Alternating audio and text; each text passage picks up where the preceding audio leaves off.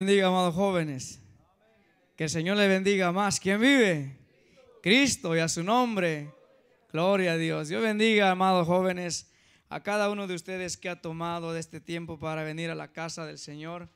Que el Señor bendiga a cada uno de ustedes. La palabra del Señor dice en Josué 1.9, mira que te mando que te esfuerces y que seas valiente. No temas ni desmayes, porque yo estaré contigo a donde quiera que vayas. Así que Dios es bueno, Dios bendiga, hermanos, a cada uno de ustedes. Dios bendiga a cada joven y a cada jovencita, a cada hermano que tiene que, manejar desde larga distancia. Yo sé que, hermanos, a veces, ¿verdad? Uno se cansa en el trabajo, pero Dios apremia nuestro esfuerzo. Dios apremia su valentía y su esfuerzo también, porque todo lo que hacemos en el Señor no es en vano. Dios bendiga a aquellos también que nos están mirando a través de las cámaras. No se despegue de ahí porque viene lo mejor, que la palabra del Señor. Muchos se gozan con los cantos y dicen ahí en los comentarios, qué bonitas alabanzas, pero cuando viene la palabra, ahí cambia la cosa. Pero nosotros nos gozamos en la palabra, en los cantos, en todo, ¿verdad? Así que Dios es bueno. Póngase de pie y vamos a ir a nuestras sagradas escrituras en el libro de Esther. Capítulo 4 y su verso 1. Vamos a leer en el verso 1. Y el tema de hoy se llama valor frente a la adversidad. Valor frente a la adversidad. El estudio es el número 24. Así que puede abrir también su librito. Este es el estudio. Número 24. ¿Está alguien aquí por primera vez? Yo la bendiga. Y a qué joven también, muchachos de Guatemala, dice, yo nunca he ido a una iglesia evangélica. Le digo yo, pues, bienvenido, siéntese como en su casa. No se siente extraño, su nombre Manuel, él vive en Rivelde. Mire que, que Qué tremendo, porque él vive en el mismo edificio donde vive nuestro hermano Samuel. Y quizás nuestro hermano Samuel ya lo invitó a él, pero nuestro hermano Samuel no está aquí hoy. Pero Dios es bueno, Dios es grande y poderoso. Así que vamos a dar lectura a la palabra del Señor, tal y como está escrita, honrando al Padre, al Hijo y al Espíritu Santo. Dice así la palabra del Señor, Esther capítulo 4, verso 1. Dice así, luego que supo Mardoqueo que todo lo que había hecho, rasgó sus vestidos, se vistió de silicio y de ceniza, y se fue por la ciudad clamando con grande y, y amargo clamor. Dice el 5. Entonces Esther llamó a Tac, uno de los eunucos del rey, que la había puesto al servicio de ella y lo mandó a Mardoqueo con orden de saber qué sucedía y por qué estaba así. Dice el verso 7. Y Mardoqueo le declaró todo lo que le había acontecido y le dio noticia de la plata que Amán había dicho que pesaría para los tesoros del rey a cambio de la destrucción de los judíos. Dice el verso 10. Entonces Esther dijo a Tac que le dijese a Mardoqueo, todos los siervos del rey y el pueblo de las provincias del rey saben que cualquier hombre o mujer que entra en el patio interior para ver al rey sin ser llamado, una sola ley hay respecto a él, ha de morir, salvo a, a quien el rey extendiere el cetro de oro al cual el cual vivirá. Y yo no he sido llamado para ver al rey estos 30 días, dice el 13. Entonces dijo Mardoqueo que respondiesen a Esther, no pienses que escaparás en la casa del rey más que cualquier otro judío. Dice el verso 15, y Esther dijo que respondiesen a Mardoqueo, ve y reúne a todos los judíos que se hallan en Susa y ayunad por mí y no comáis ni bebáis en tres días. noche y día. Yo también no comí con mis doncellas, ayuné igualmente. Y entonces entraré a ver al rey, aunque no sea conforme a la ley. Y si perezco, que perezca, dice la palabra del Señor. Gloria al Señor. Ore por mí. Y yo voy a orar por usted. Señor Jesús, en esta hora, mi Dios amado, te damos la gloria, la honra y la alabanza a ti, mi Dios amado. Gracias Padre Santo por tu palabra. En esta hora, Señor, me humillo, Padre, y reconozco, Señor, que sin ti, Padre, nada puedo hacer, Señor. En esta hora, Dios del cielo, me humillo, Señor, y te pido, Padre, que use mi vida como siempre la sabe usar, Padre. Tuya la gloria, tuya la honra, Señor. Es tu palabra, Señor, no es mi palabra. Por eso te pido, Señor amado, Señor, que salve, que restaure, Padre, que dé ánimo, Padre Santo, aquel Señor que está débil, Padre. Salva, Señor amado, aquel que no es salvo, Padre. Sabemos, Padre, que su palabra es poderosa, Padre Santo, para hacer cosas grandes, Señor. Aleluya, en cada uno de aquellos, Padre que las oirán, Padre. Bendito sea tu nombre. Gracias, poderoso Santo. Te damos la gloria, te damos la honra y la alabanza a ti, Señor Jesús. Gracias, mi Rey. Gracias, precioso Jesús. ¿Puede sentarse? El tema de hoy se llama valor frente a la adversidad. Dice la introducción. El pueblo de Dios ha sido el blanco de persecución. El enemigo siempre lo ha querido destruir. Según un estudio publicado anualmente por la organización sin ánimo de lucro, Puertas Abiertas, que analiza el nivel de persecución religiosa a la que se ven sometidos los cristianos en el mundo. Durante el periodo 2015 y 2016 hubo más de 7 mil cristianos muertos en el mundo por causas relacionadas con su fe. 3 mil más respecto al periodo anterior 2014-2015. Las estadísticas también muestran que cerca de 2.300 iglesias fueron destruidas o dañadas, número que dobla las cifras de la lista del año anterior. En Eritrea, una nación situada al noreste de África, cualquier cristiano que alce la voz para protestar sobre el trato por su fe es encarcelado o detenido sin importar su estatus. En Nigeria, la, brutalidad de las milicias islámicas radicales de Boko Haram han sido asesinados más de 5 mil cristianos y más de 30 mil han sido desplazados. Hemos visto al grupo Estado Islámico ISIS injusticiando cristianos en vivo y en directo en los medios de comunicación. Por lo tanto, el riesgo de ser atacado o confrontado por, por nuestra fe sigue latente en el día de hoy. Pero Dios ha prometido librarnos como lo hizo con los judíos, con los judíos en el tiempo de Esther. Dice el punto número uno. Desarrollo del estudio. Propósito divino en la adversidad. ¿Por qué Dios permite que sus hijos sean perseguidos y maltratados? En forma de pregunta. ¿Cuál es el propósito de Dios en la adversidad? Dice el punto número uno ahí.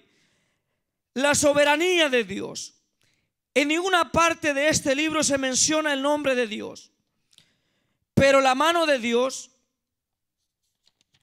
pero la mano de Dios sacó a luz la buena obra de Mardoqueo. El complot de Amán volviéndose en su contra todo para que el nombre del Señor sea glorificado. ¿Sabe algo, amado hermano, amado amigo que está aquí en este lugar? El pasaje de Esther es uno de los pasajes que muestra la valentía de una mujer, una mujer judía que había, había llegado a esa nación y que estaba en una nación en donde todos no eran judíos.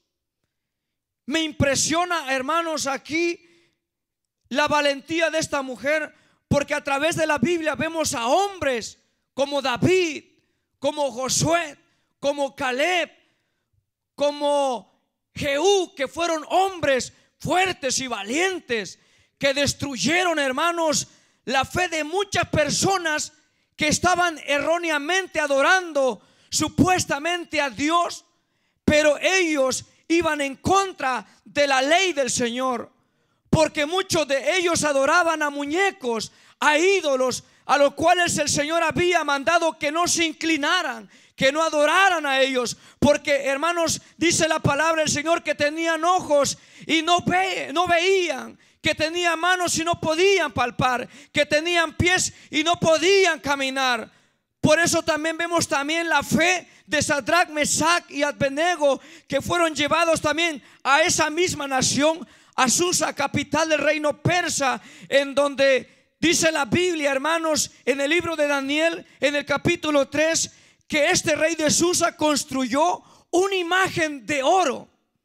No era de barro, no era de madera, no era de cobre, no era de bronce, era de oro. Y dice la palabra del Señor que estos hombres, el rey de esa nación, probó la fe de estos tres muchachos que vivían como extranjeros en ese lugar.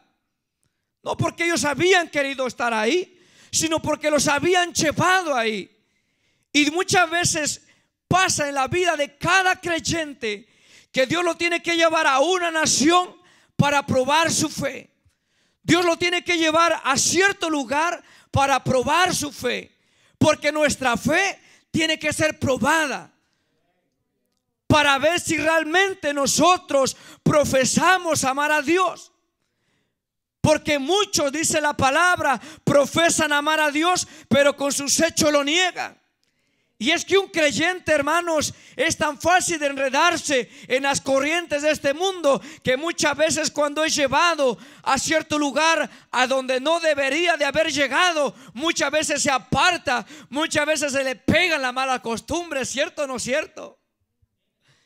Muchas personas, hermanos, cuando es llevado a cierto lugar, se le pega el habla, se le pega las costumbres. Posiblemente ese muchacho era un creyente de aquellos que posiblemente cantaba, posiblemente predicaba, posiblemente ministraba o no, yo no sé qué hacía en su iglesia, pero cuando es llevado a otro país y se empieza a juntar con personas que tienen otra fe, que tienen otra religión y que posiblemente son atateos, hermanos, son tan fáciles de ser enredados.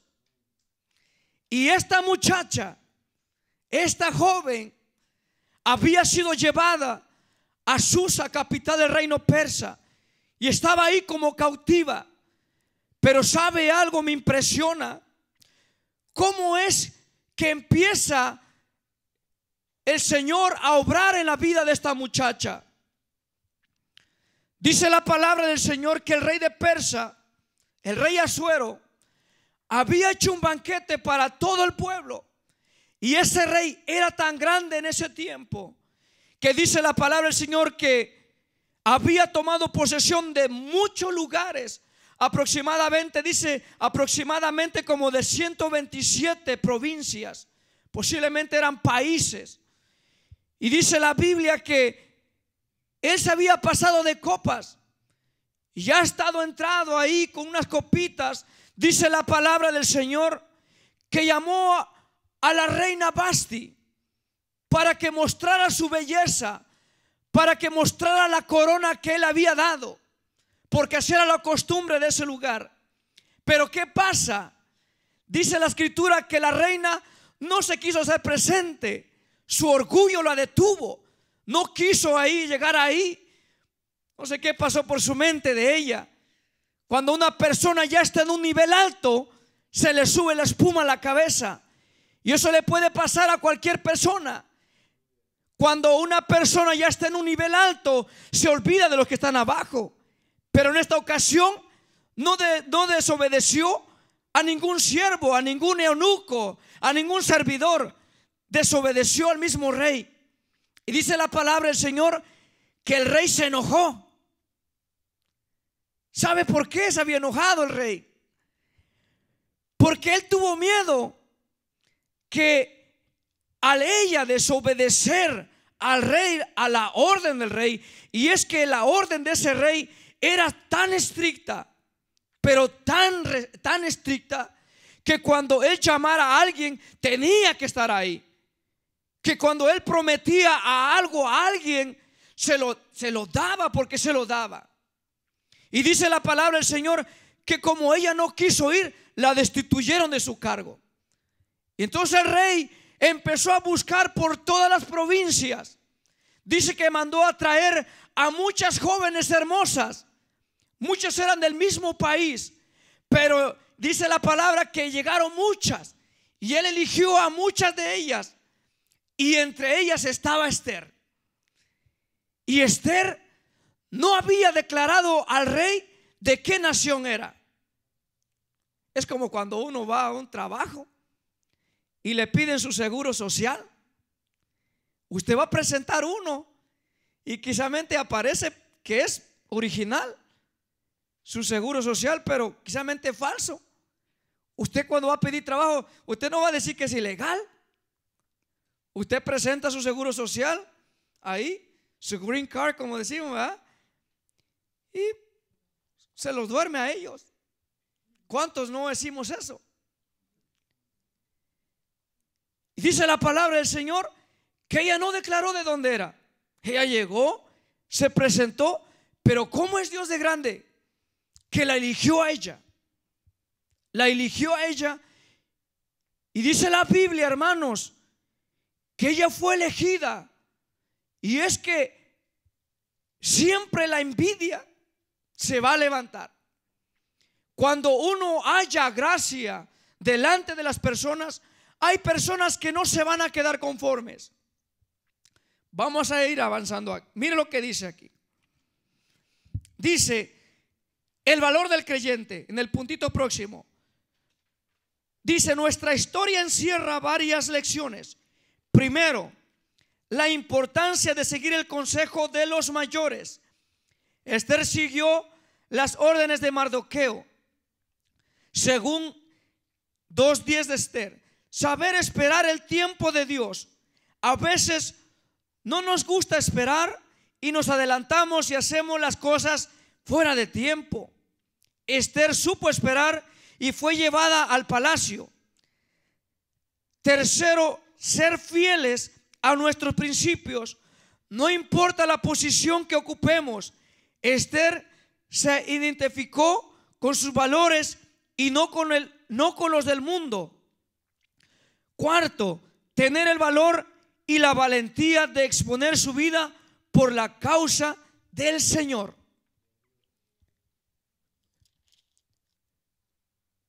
Vamos a ir en el capítulo 3 de Esther. Vamos a leer en el 2, verso 19. Dice, cuando las vírgenes eran reunidas la segunda vez, Mardoqueo estaba sentado a la puerta del rey y Esther, según le había mandado Mardoqueo, no había declarado su nación ni su pueblo, porque Esther hacía lo que decía Mardoqueo, como cuando él la educaba. Recordemos que Esther, su padre y su madre ya habían muerto, ella era una huérfana según la palabra del Señor. Verso 21. En aquellos días, estando Mardoqueo sentado a la puerta del rey, se enojaron Victán y Teres, dos eunucos del rey, de la guardia de la puerta, y procuraban poner mano en el rey Asuero. Cuando Mardoqueo entendió esto, lo denunció a la reina Esther, y Esther lo dijo al rey en nombre de Mardoqueo se hizo investigación del asunto y fue hallado cierto. Por tanto, los dos eunucos fueron colgados en la horca y fue escrito el caso en el libro de las crónicas del rey. El primer punto, hermanos, es algo que no cambiará hasta el día que Cristo venga. Todos sabemos la persecución de hoy en día acerca de los cristianos. Aquí en Estados Unidos es fácil decir yo soy cristiano. Aquí, hermanos, podemos cargar con libertad una Biblia, pararnos en la vía pública y hablar de la palabra del Señor. Muchas veces se pasan personas que tienen otra fe y lo hemos visto con nuestros propios ojos. Han pasado gente de la India, han pasado gente que son islámicos y muchos le tienen miedo a los islámicos porque si estuviéramos en su país predicando en la calle, quizá ya nos hubieran arrancado la cabeza por hablar de Cristo. Pero en este país, hermanos, somos tan libres de predicar la palabra del Señor. Muchas veces hay pereza, hay pesar, hay cosas que nos impiden quizás ir a repartir tratados. Pero hay lugares, hermanos, y no vamos a ir muy lejos. México. Yo miraba una historia acerca de un pueblo en México que está en el norte de México, en Chihuahua. Hay una, hay una tribu que se llaman los tarahumaras. En ese lugar, hermanos, hay una colonia en donde el Evangelio llegó con poder y muchos de ellos creyeron a la palabra del Señor y empezaron a convertirse a la fe, dejaron sus costumbres. Pero ¿qué pasa? ¿Y qué pasó? que al enterarse las personas del pueblo que estas personas se habían convertido a Cristo, dice la palabra del Señor que los empezaron a expulsar. Y a muchos de ellos, hermanos, no querían dejar sus casas. ¿Y quién quiere dejar su casa? ¿Quién quiere dejar su tierra? ¿Quién quiere dejar su el lugar, hermanos, en donde nació? Nadie. Dicen ellos y cuentan, hermanos, que los hermanos enviaron ayuda de aquí para allá, enviaron ayuda para que ellos pusieran sus propios negocios, porque les prohibieron que, que ellos eh, ya no les daban estudio, ya no les daban eh, ayuda. En México hay mucha ayuda, ayudan a la gente allá, pero a aquellos hermanos que se habían convertido a Cristo, muchos les estaban negando la ayuda. Y es que así pasa el día de hoy. Cuando una persona se convierte a Cristo, lo primero que dicen los amigos, ya te lavaron el coco, ya te hiciste hermano, ya traicionaste la religión, ya traicionaste a la virgencita o cuántas cosas, porque eso me pasó a mí, por eso se lo estoy diciendo. ¿Cuántas cosas no piensan nuestras familias? Personas que nos vieron, hermanos, cargar una imagen. Personas que nos vieron entrar a una iglesia. Personas que me miraron ahí, estar ahí medio de ellos. Muchos de ellos, hermanos, ahora nos miran con desprecio. La palabra del Señor dice que los enemigos serán los de tu casa. Los enemigos serán los de nuestra propia casa, nuestra propia familia y serán aborrecidos, dijo el Señor, de todos por causa de mi nombre. Oiga usted, le voy a preguntar a alguien de ustedes, cuando usted tenía religión, ¿lo despreciaban? Levante su mano aquel que lo despreciaban porque tenía religión. Nadie. Ahora le voy a hacer otra pregunta. Ahora lo han despreciado por ser cristiano. Levante su mano. A muchos nos han despreciado. Yo le decía a un muchacho, le digo, me dice, oye Fernando, tú has cambiado. Ya no eres el mismo de antes, ya no eres aquel que vacilaba con nosotros, ya no eres aquel que convivía y que iba ahí, empezábamos a bailar y hacíamos esto y lo otro. Que no, ya no vas a ser el mismo ya jamás todo aquel que se convierte a Cristo ya no es el mismo. Y es que hermanos, cuando viene Cristo a nuestras vidas, uno ya es luz y medio de las tinieblas. Ya no bailas. Y no que una vez me dijeron, ¿y por qué no juegas? Le digo, no, es que estoy yendo a la iglesia. Dice, ¿y te lo prohíbe el pastor? No, el Señor me lo prohíbe. Y la gente a veces se ríe y dice, ¿cómo que el Señor te lo prohíbe? ¿Acaso es pecado? Bueno, para mí lo es. Imagínense usted, yo voy a jugar fútbol y me quieran un pie. Y el hermano Fernando llega aquí a predicar rengueando. ¿Y qué le pasó al hermano Fernando? Hermano Fernando, por repartir tratados, seguro que allá le diera una paliza. Hermano Fernando, ¿qué le pasó? Quizamente se fue a meter por ahí un pueblo, a una comunidad aquí, y lo apedrearon por andar predicando de Cristo. Hermano, sí, gloria a Dios por el hermano que lo garrotearon.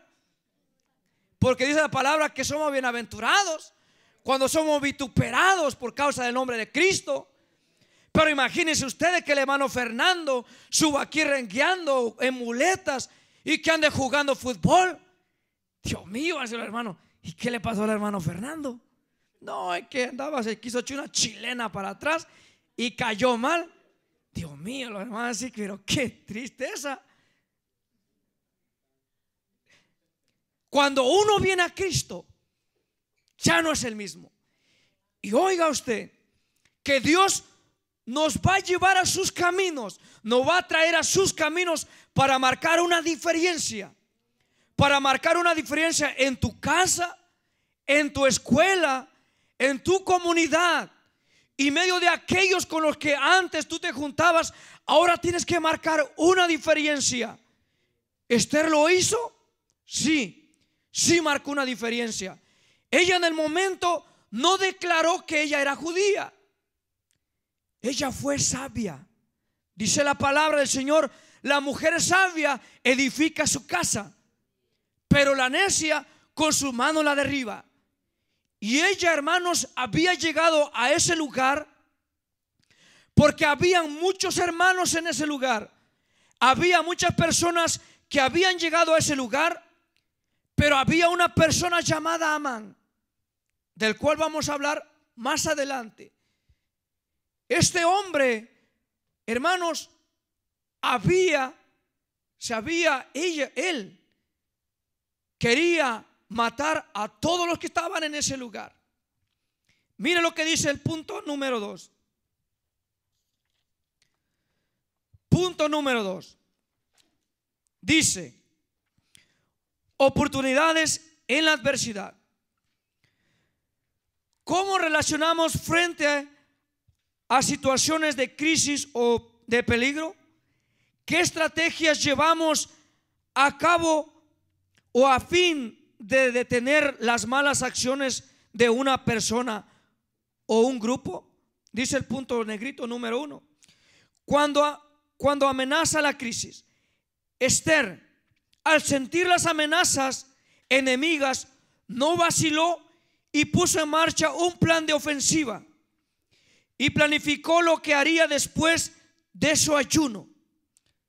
Ya sabemos que la motivación de aquel banquete era descubrir el malvado plan que Amán preparaba para destruir al pueblo de Dios. Ahí nos detenemos un poco. Satanás siempre ha odiado a los cristianos.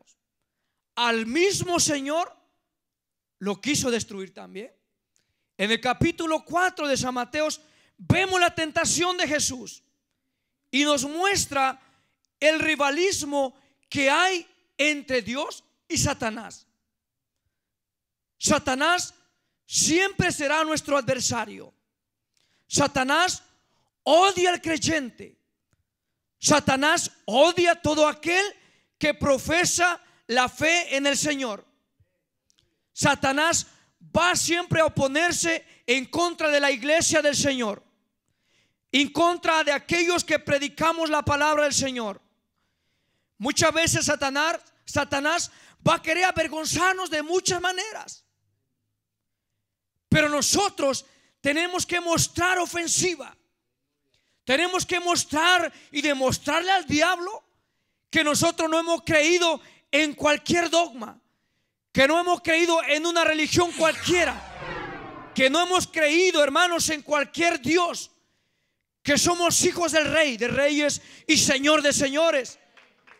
El diablo nos va a querer, hermanos, apagar la sonrisa que hay en nosotros. Va a querer detener la fe en Cristo. Él es nuestro rival. ¿Cuántos, a cuántos de nosotros Satanás no nos ha puesto en el corazón? Ya no sigas adelante. Ya no vengas a la iglesia. ¿Para qué vienes a la iglesia? ¿Vienes lunes? ¿Vienes miércoles? ¿Vienes viernes? ¿Vienes sábados y domingos también? ¿A cuántos no les ha puesto el enemigo? Ya no sigas adelante. Pero muchas veces Dios nos lleva, hermanos, a la iglesia. ¿Sabe para qué? No solamente para que vengamos aquí a calentar una silla, sino que muchas veces Dios tiene un propósito con nosotros. Primeramente es la salvación de nuestra alma. Y también después, hermanos, después de que nosotros alcancemos la madurez espiritual, iremos a rescatar también a otros. Ese es el propósito de Dios. Porque muchos podemos, hermanos, estar en la iglesia. Pero si el Señor se presentara delante de nosotros, ¿y qué has hecho por mí? ¿Cuánto yo no hago por ti? Yo te cuido día a día, minuto a minuto, segundo a segundo. ¿Y qué haces tú por mí? ¿Qué haces tú por mí? Yo escribí un canto. ¿Qué he hecho yo por él? Para poder merecer, a pesar, a pesar, le escribí ahí, a pesar que yo he sido infiel, tú no eres así. A pesar de que nosotros somos infieles con Dios, Dios no es así. Esta mujer se puso firme y puso manos a la obra. ¿Por qué? Porque había un hombre llamado Amán. Hay un dicho que dice por ahí que el pez muere por su propia boca. ¿Ha escuchado ese dicho?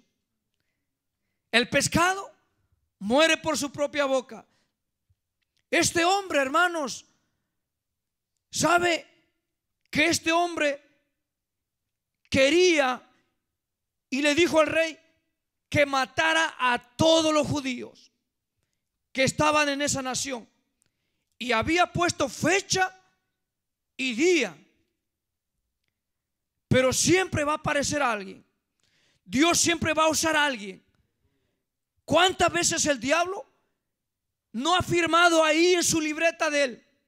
Tal día a este, a este muchacho o a esta muchacha se le va a llegar la hora. Pero dice la palabra del Señor, de tal manera Dios, Dios amó al mundo que ha dado a su Hijo unigénito para que todo aquel que en Él crea no se pierda, mas tenga vida eterna. Hay un intercedor. Es su oración y es mi oración.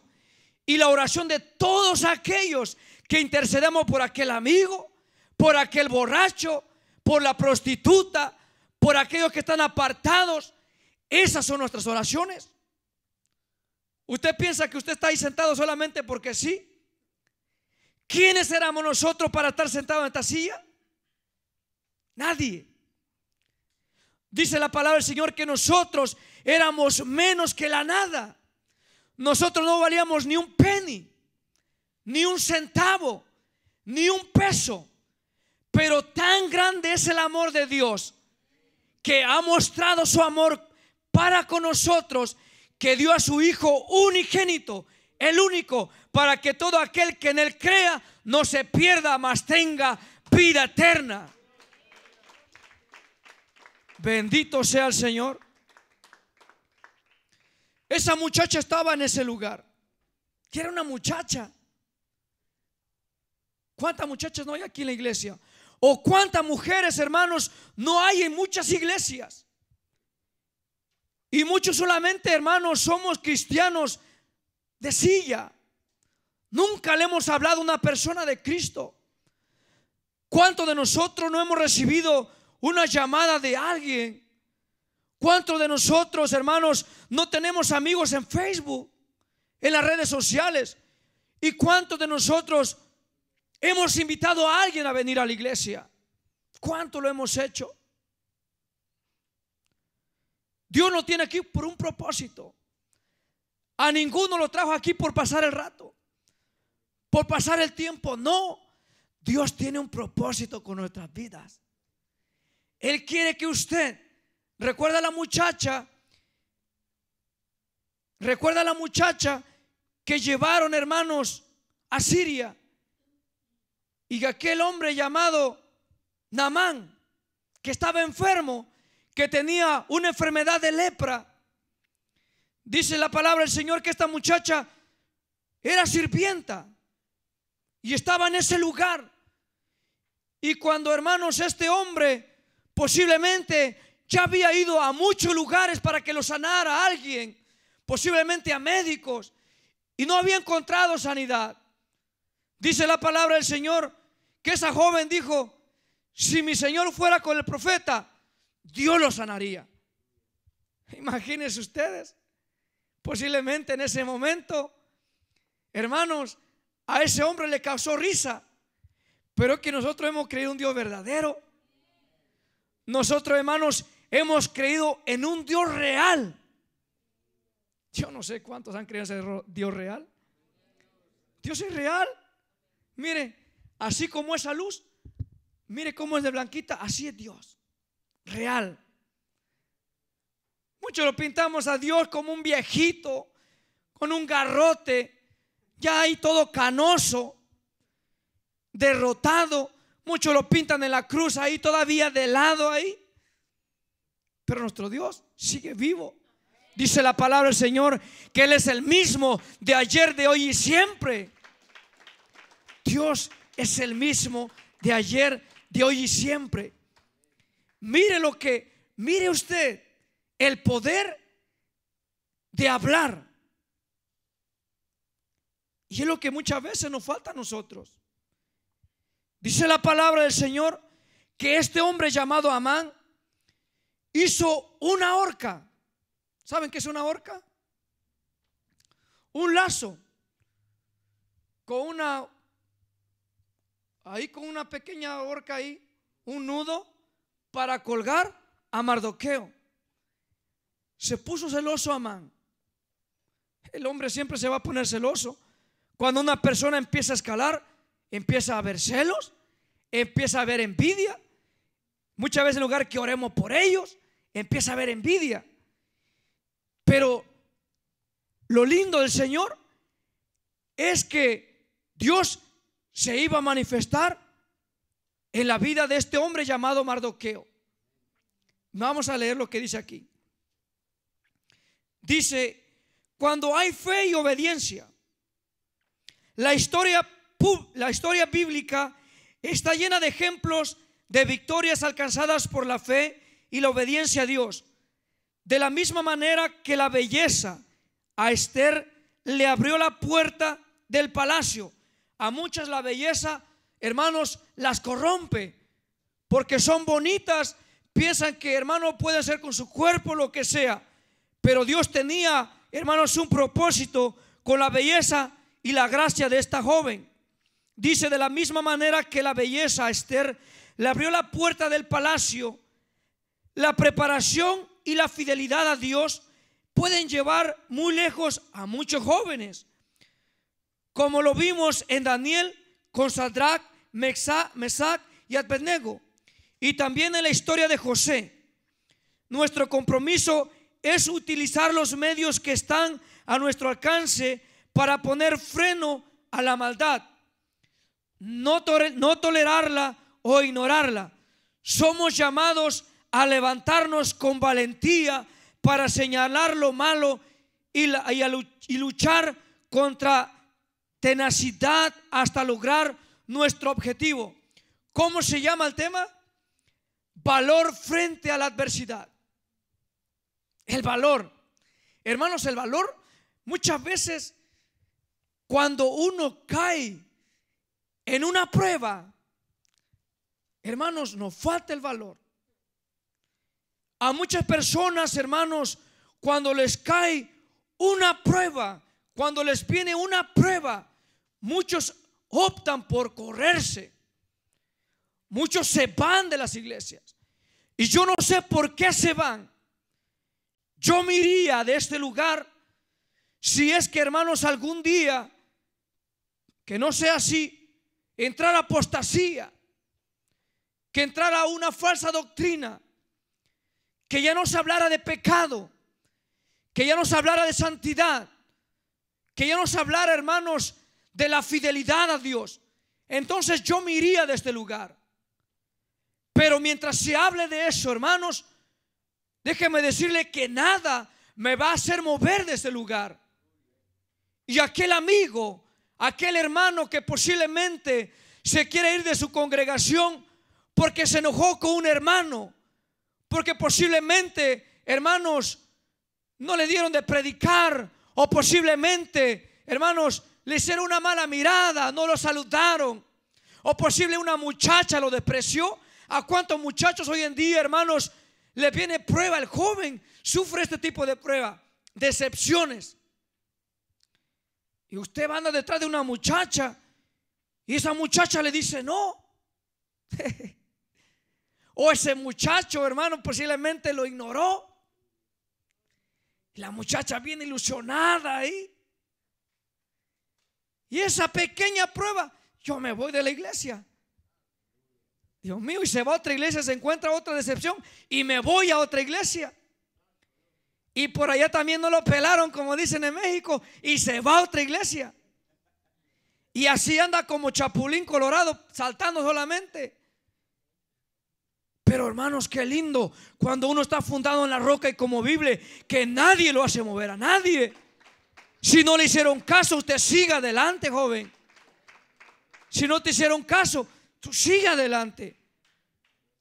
Los jovencitos que están aquí posiblemente no saben de eso, pero van a llegar a ese momento. Y tiene que estar con los pantalones bien puestos. Que usted su mirada tiene puesta en Cristo, no en la muchacha.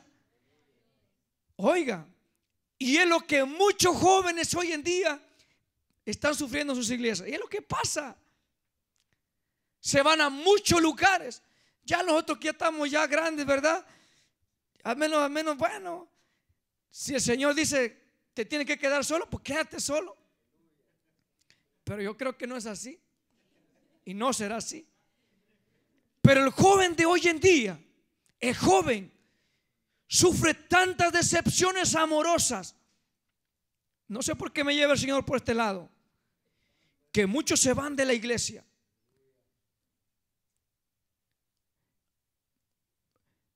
Si muchas veces el joven tiene que saber esperar en Dios. El joven es, pero tan impaciente, hermanos, que se desespera.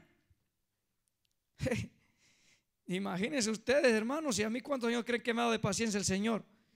Yo quisiera ya me hubiera ido. Yo me hubiera ido detrás de por ahí una Jezabelona o una Dalilona.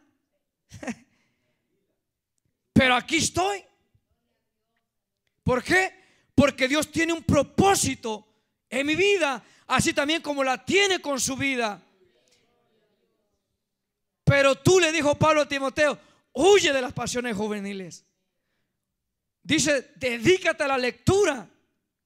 Dios mío. A veces uno se prepara para predicar, ya último minuto está uno ahí escudriñando. El joven tiene que dedicarse al Señor. Dice la palabra del Señor que el joven tiene que, hermanos, estar siempre su pensamiento, su mente en las cosas del Señor. El casado está su pensamiento en, en la cosa de su esposa, su familia. Pero nosotros que somos muchachos, Dios mío, es porque nosotros trajéramos textos bíblicos memorizados. Y cuando nos dieron un texto bíblico, hermanos, la palabra dice así. Y no estuviéramos ahí leyendo, hermanos, no estuviéramos ahí, hermanos, déjenme llevarlos allá. No. ¿En qué cosa piensa, joven? El joven, su deleite tiene que deleitarse en el Señor. Esa tiene que ser nuestra delicia para los muchachos y para las muchachas de hoy en día.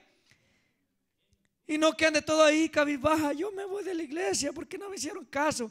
Y allá se va. Llorando se van los jóvenes hoy en día. Llega una pruebita y llega una chamaca y se lo lleva para afuera. Ya me voy, hermano, después de andar gozoso, después de andar alegre. ¿Dónde estaba el que danzaba? ¿Dónde estaba el que hablaba lengua? ¿Dónde está? Dios mío, cuando uno está ahí bien enamorado Señor, aleluya, gloria a Dios, Cristo vive, Cristo viene pronto, alábele cabezones y esto y lo otro. Y después cuando viene la prueba, hermano, mire, dice un dicho, mejor que digan que aquí corrió que aquí murió. Pero hermano, lo valiente, dice la palabra del Señor, el texto a memorizar, mira que te mando, que te esfuerces y que seas valiente. ¿Cuál es el antónimo de Valentía. Cobardía. Mira que te mando que te esfuerces y no seas cobarde. Pero el Señor es tan bueno y tan amoroso. Dice, mira que te mando que te esfuerces y que seas valiente. Me gusta lo último que dice, porque yo estaré contigo a donde quiera que vayas. Dios mío, gloria Señor. Dios es bueno y para siempre es su misericordia. Dice el punto número tres, victoria en la adversidad. ¿Qué estamos haciendo para que la obra del Señor avance victoriosa? Esther ayunó e intercedió entre el rey. Oramos por los creyentes que están siendo perseguidos y asesinados en otras partes del mundo. ¿Usted ora por ellos? Cuando alguien le rechaza un tratado, ¿se acuerda de ellos? Cuando le dicen, ah, vete hasta allá tú y tu religión, ve hasta allá tú y tus creencias. ¿Será que se acuerda de Esteban? ¿Se acuerda de Saulo? ¿Será que nos acordamos de ellos? Dios mío. Dice, cuando tus acciones agradan a Dios, qué tremenda diferencia hizo Esther en la historia de su pueblo. Estos pasajes revelan la grandeza de Dios y como dice Salomón, cuando la, cuando la conducta de un hombre agrada a Dios, hasta sus enemigos lo ponen en paz con él. Gloria a Dios. La valentía llevó a José al trono de Egipto y a Daniel a ocupar el lugar de primer ministro de Babilonia. El joven que es fiel, oiga, el que es fiel, se distingue por tener el favor de Dios y el de los hombres.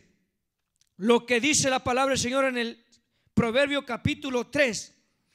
Dice, el joven que es fiel se distingue por tener el favor de Dios y el de los hombres, de la misma manera que Esther y Mardoqueo tuvieron el conocimiento del pueblo persa Asimismo, la gente no puede ignorar a un joven que sabe comportarse en momentos de crisis. Dice el otro punto, que nadie te tenga en poco. Una persona que pone en práctica su fe y confianza en Dios difícilmente será tenida en menos. El apóstol Pablo le aconsejó a Timoteo, ninguno tenga en poco tu juventud, sino sé ejemplo de los creyentes en palabra, conducta, amor, fe y pureza. Dice, todo aquel que posee estas condiciones no podrá ser ignorado. Aquellos que han sabido decir no al mundo y a sus placeres temporales, los que han sufrido el desprecio de los que desean verlos humillados, recibirán no solo el favor de Dios, sino también el reconocimiento de, los demás. Recuerda cómo Dios bendijo a hombres y mujeres de la Biblia. Él puede hacer lo mismo contigo. ¿Cómo terminó Amán? Dice la Biblia que este hombre terminó ahorcado. Satanás, hermanos, quiso matar al Señor, hermanos, desde que estaba recién nacido. Todo aquel que está recién nacido en el Evangelio, Satanás lo va a querer apartar. Yo no sé su nivel espiritual. Yo no sé a qué nivel espiritual esté usted. Si ya se siente que anda tambaleando, agárrese. Tiene que ceñirse los lomos con la palabra del Señor. Y tiene que, hermano, ser precavido. Porque el enemigo va a querer apagar tu fe. Y va a querer también apagar la mía. Pero tenemos unas armas poderosas. Y son tres armas, hermanos, pero tan, pero tan poderosas que muchas veces todo aquel que se descuida, hermanos, de esas tres herramientas poderosas, es fácil de caer en la trampa del enemigo. Y la trampa que usted y yo debemos usar. ¿Y cuáles son? ¿Alguien me puede decir una de ellas? Oración, ayuno y lectura bíblica. Convertíos a mí con todo vuestro corazón, con ayuno, lloro y lamento. El ayuno es tan hermoso. La lectura bíblica, cuando uno escudriña la palabra del Señor, Dios mío, es tan lindo. Cuando uno ora, hermanos, es hermoso. Tú hablas con Dios. Eres sincero con Dios. Lo que usted no le puede decir al hermano pastor, usted se lo dice a Dios. Señor, ya no te siento. Señor, yo recuerdo cuando los primeros días cuando yo venía a la iglesia, yo lloraba. Escuchaba un canto y sentía esa alegría, sentía esa paz. Ahora estoy abotezando. ¿Qué me está pasando, Señor? ¿Qué me pasa? Devuélveme el gozo de tu salvación. Yo recuerdo cuando lloraba, cuando sentía esas corrientes de agua viva. Ahora me dan un texto bíblico, yo no lo quiero decir, me da pena. Yo no sé qué tengo. ¿Qué puede apagar la fe de un creyente? El pecado. Pero Dios es grande, es poderoso, que Él quiere hacer cosas grandes en la vida de cada uno de nosotros. Dios no nos trajo a este lugar solamente por traernos. Dios nos trajo a este lugar con un propósito. Bendito sea el nombre del Señor.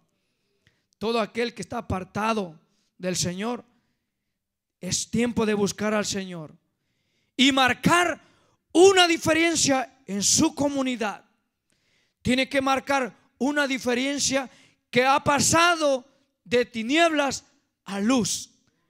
Porque el que está en luz, dice la palabra del Señor, que alumbra a toda la casa. Así que cierre sus ojos. Vamos a venir en palabra de oración. Señor Jesús. Te damos gracias, Señor amado, por la oportunidad, mi Dios, que nos diste de venir a este lugar, Señor. Gracias, mi Señor, porque tú eres bueno, Padre, porque para siempre es tu misericordia. Sabemos, Padre, que, oh Señor, cuando tú nos llamas a tus caminos, Señor, tú nos llamas con un propósito, Señor amado.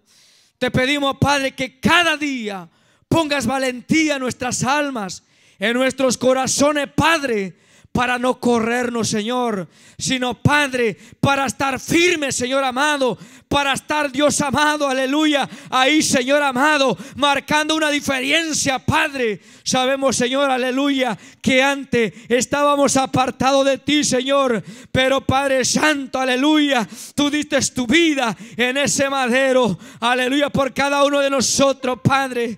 Por eso te damos la gloria, te damos la honra, te damos la alabanza. Sabemos, Señor amado, aleluya, que estamos en este lugar, Señor, con un propósito, mi Señor, aleluya. En esta hora, aleluya, yo quiero hacer un llamado. Aquel amigo, aquel, aquel amigo que está aquí que ha venido a este lugar por primera vez, por segunda vez, por tercera vez, es tiempo que usted marque una diferencia. En aquel día el Señor llamó a José para marcar una diferencia Llamó a Gedeón también de las tradiciones que lo habían inculcado sus padres. Pero cuando Dios lo llamó a él, dejó todo eso. Hoy él marcó una diferencia en su pueblo. A David, a Salomón, a Jehú, a todos esos hombres, Dios los llamó con un propósito. Ninguno de ellos tenía un estudio académico. Ninguno de ellos era profesionales. No eran doctores. No eran maestros. No eran abogados. Eran personas comunes y corrientes que posiblemente estaban ahí, aleluya. Estaban haciendo ahí sus trabajos, pescadores, campesinos, porque dice la Biblia que de lo vil del mundo escogerá Dios para avergonzar a los sabios. Y posiblemente hoy es tu día, amado joven, amada jovencita. Hoy es tu día. Dios quiere que tú marques una diferencia. Bendito sea el Señor. Aleluya. Si hoy quieres a Cristo, dice su palabra, hijo mío, si oyeres hoy mi voz, no endurezcáis tu corazón. Joven, ven, entrega tu corazón a Cristo. Él quiere anotar tu nombre en el libro de la vida. Él te quiere dar vida, Él te quiere dar paz, Él te quiere dar vida eterna en Cristo Jesús, que no te lo va a dar la cerveza, no te lo va a dar el alcohol, no te lo van a dar los placeres, solamente el Cristo de la gloria te va a dar esa paz que sobrepasa todo entendimiento. Aleluya. Bendito sea el Señor. Manuel, ¿quieres aceptar a Cristo? Ven a Cristo. Él quiere cambiar tu vida. Hoy es el día de salvación, dice la palabra del Señor. Dice así la palabra, hijo mío. Así dice, hijo mío si oyeres hoy mi voz, hoy mi palabra, no endurezcas tu corazón. Hoy el Señor quiere salvarte, quiere darte esa paz, quiere darte esa alegría que sobrepasa todo entendimiento. Gloria al Señor. Si hay ahí a un amigo que no tiene a Cristo, ahí detrás, aleluya, de las cámaras, o a un hermano que se ha ido de la iglesia, no te vayas de la iglesia, amigo. No te vayas. Fuera de Cristo hay muerte. Fuera de Cristo, aleluya, vas a llorar, te vas a lamentar el resto de tu vida. Fuera de los caminos del Señor hay muerte, aleluya. Hay caminos, dice su palabra, que al hombre le parecen perfectos, pero su fin son caminos de muerte. Bendito sea el Señor para siempre.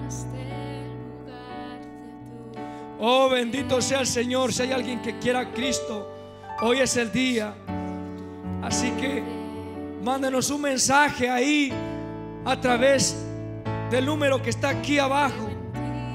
El Señor quiere anotar su nombre en el libro de la vida. Te adoramos, Señor, tú eres bueno. Aleluya. Damos la gloria y la honra al Señor. Denle una ofrenda de palmas al Señor, porque Él vive y reina para siempre. Bendito sea el Señor para siempre. Así que Dios es bueno y sigamos adelante, amados jóvenes. Voy a dejar a mi hermano Edwin que Él va a proceder con el servicio. Amén. Dios le bendiga en esta noche, jóvenes. Dios les bendiga más. ¿Cuántos se gozaron con la enseñanza? Amén. ¿Cuántas jovencitas quieren ser como Esther? Amén. Una enseñanza muy preciosa que esta mujer no le importó que le cortasen la cabeza, pero ella dijo, yo voy a salvar a mi pueblo. Amén. Sabía que una persona no se podía presentar ante el rey si el rey no la hubiese llamado. Pero esto es cuando nosotros confiamos en Dios, porque al que confía en Dios, ¿qué pasa? Los que aman a Dios, ¿qué pasa? Todas las cosas le ayudan a qué? Esther confiaba y amaba a Dios. Y ella dijo, yo voy a salvar a mi pueblo, no puede ser que mi pueblo sea ah, destruido. Y qué linda la enseñanza de esta, de esta, de esta noche. ¿Y cuántos mardoqueos hay aquí? Amén. No, los jóvenes no dicen. Amén. ¿Se recuerdan qué textos, eh, perdón, qué capítulo toca esta, esta noche? Efesios capítulo 4. Así que yo espero que ya lo hayan leído, ¿verdad? Voy a pasar algunas jóvenes acá al frente. Vamos a comenzar con nuestra hermana Gaby Castañeda, amén. Nuestra hermanita va a quedar con nosotros en esta noche. Ella trae un texto también, amén. Yo creo que todos leyeron el capítulo de Efesios, capítulo 4. Así que han tenido tiempo para hacerlo. Dios bendiga, hermanos. Dios bendiga más. Yo voy a decir Efesios 4, 6. Un Dios y Padre de todo, es cual es sobre todo y por todo y en todo que yo entendí en este texto es que Dios lo va a guardar en cada prueba, cada prueba y lo va a guardar en todas cosas. Amén. Dios bendiga a nuestra hermana. ¿Cuánto una ofrenda de palmas al Señor? Amén. Un Dios y Padre de todos. ¿Cuántos tienen ese Dios? Él es nuestro Dios. Amén. Dios bendiga a Gaby. Vamos a continuar con, con otra joven. Amén. Un joven. Ahora vamos a pasar a nuestro hermano Ramiro. Por allá creo que está nuestro hermano Ramiro. Amén. Nuestro hermano Ramiro va a quedar con nosotros. Jóvenes que se esfuerzan a seguir siempre adelante. Dios le bendiga, hermanos. Ah, doy gloria a Dios por esto y el, el lunes pasado no, no vine, pero escogí un texto muy rápido. Amén que me dio el significado también, amén. Aleluya. Vamos a ver, se me perdió aquí. Dice.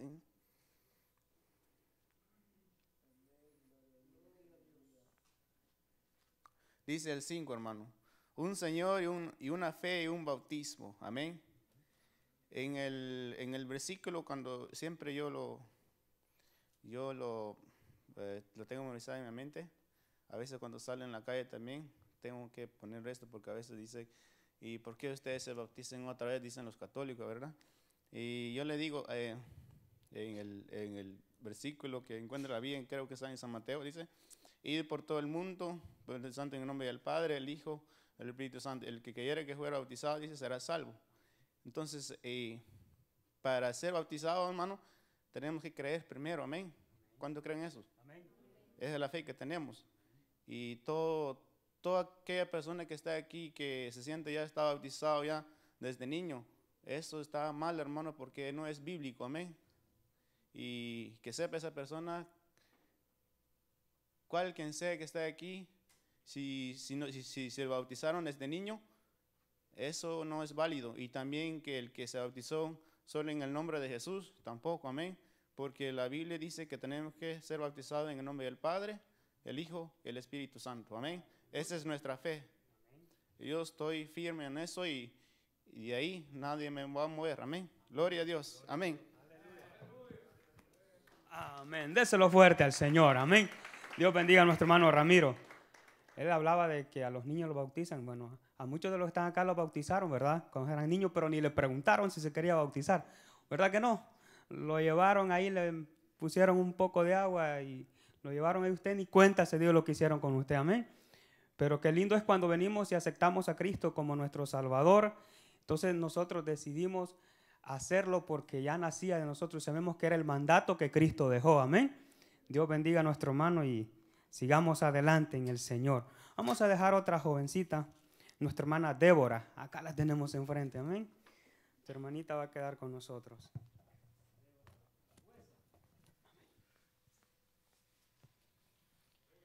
Dios les bendiga, hermanos. Yo escogí el versículo 11 um, y dice, y él mismo construyó a unos apóstoles, a otros profetas, a otros evangelistas, a otros pro- um, pastores y maestros. Lo que yo entiendo de esto es que el Señor tiene un propósito para nosotros y Él nos va a levantar como Él nos quiere.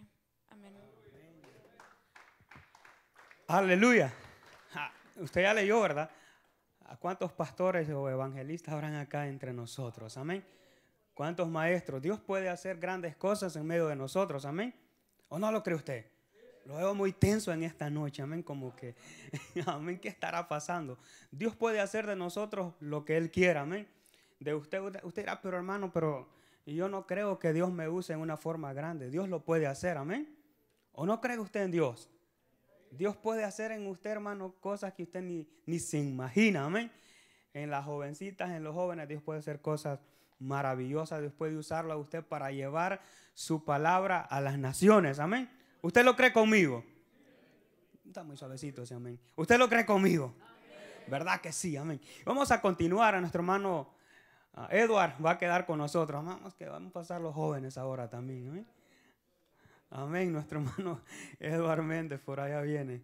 Dele fuerte ese aplauso al Señor mientras nuestro hermano llega por acá. Amén.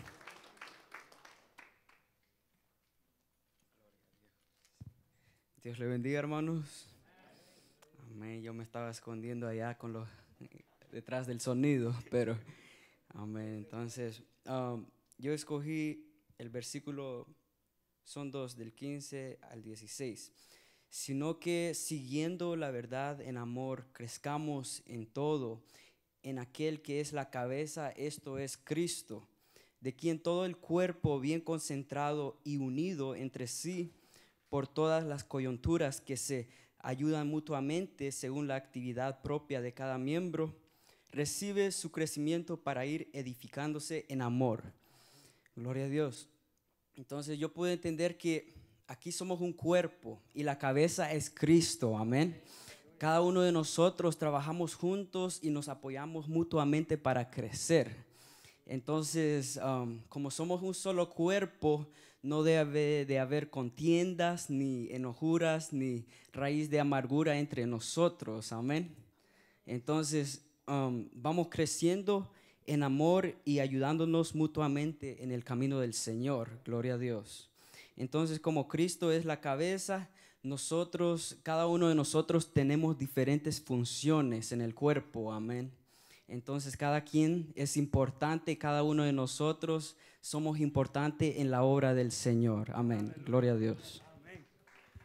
Gloria a Dios. Nuestro hermano decía, somos importantes cada uno. ¿Cuántos son importantes? Diga conmigo, yo soy importante para Dios. Amén.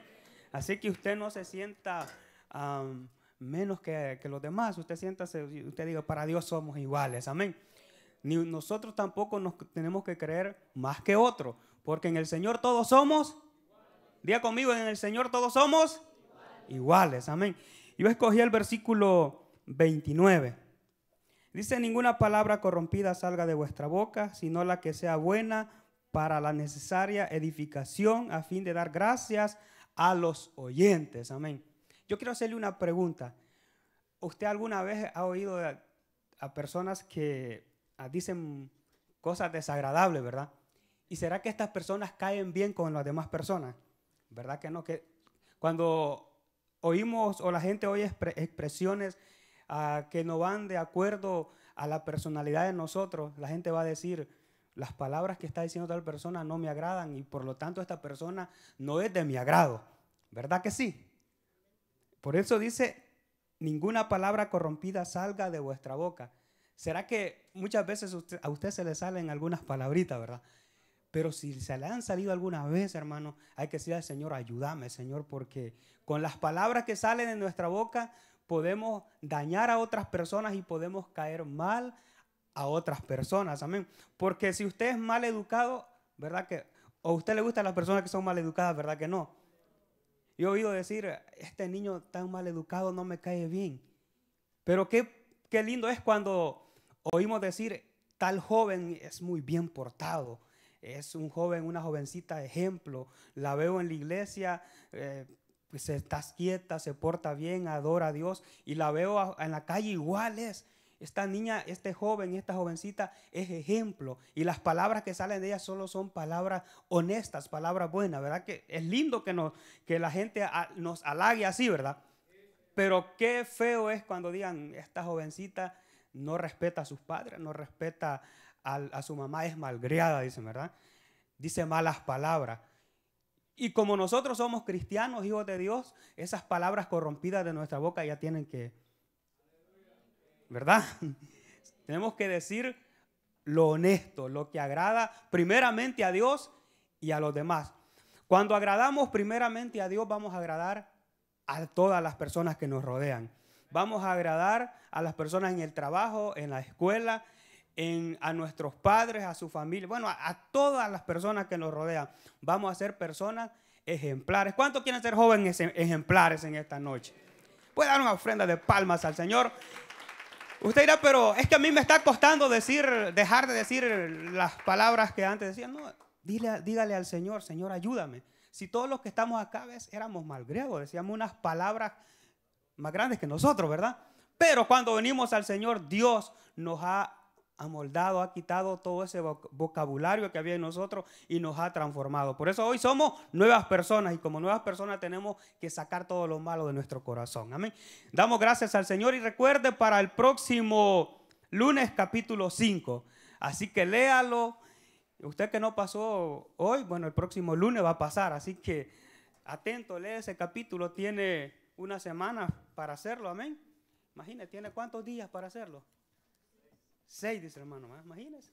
Léalo un ratito, busque un versículo y diga al Señor, enséñame qué quiere decir este versículo. Amén. Así vamos a dejar a nuestro pastor con nosotros, jóvenes. Dios les bendiga y siempre adelante en el Señor. Amén. Dios bendiga a todos los que en esta noche vinieron y a los que han estado a través de las redes sociales. Bendiciones también. Que el Señor nos siga bendiciendo, jóvenes, y sigámonos esforzando. Amén Así que si usted ha visto algún joven que se ha quedado, hemos visto mucha ausencia, usted dígale, joven, vamos los lunes. No te quedes que vamos a ir a aprender más del Señor. Así que Dios les bendiga a nuestro hermano pastor con nosotros. Amén. Qué bueno es el Señor. Dios les bendiga, jóvenes. Qué bendición estar en la casa del Señor. Dios bendiga a todos los jóvenes que siempre vienen, a los que quizás por primera vez vienen, a los que recién se han añadido al Ministerio de los Jóvenes. Bienvenidos todos. También saludamos a las personas que nos ven a través de, del video en YouTube o Facebook. En esta oración para despedirnos vamos a orar por las necesidades. Si alguien tiene una necesidad por la cual quiere que oremos, de igual manera puede pasar acá. Pero hay personas que han escrito sus peticiones, como María Ergueta, dice que tiene ansiedad es algo muy feo, desesperante, sentir esa, situación de la ansiedad. Barta Vaca por su esposo.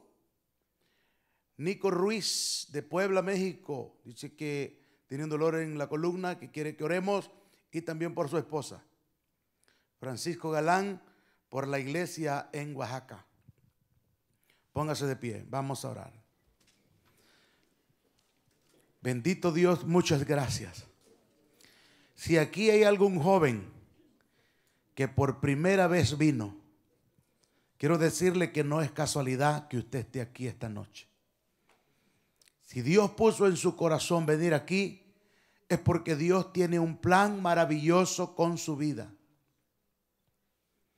Entréguele su corazón a Jesucristo y nunca usted se arrepentirá de haber tomado la mejor decisión de su vida. ¿Qué le estamos diciendo cuando le invitamos a recibir a Cristo como su Señor y Salvador?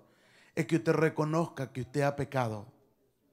La Biblia dice que todos hemos pecado contra Dios. No hay nadie, nadie de nosotros aquí que no haya pecado. Por lo tanto, necesitamos venir y decirle, Señor, perdóname, reconozco que yo he pecado contra ti.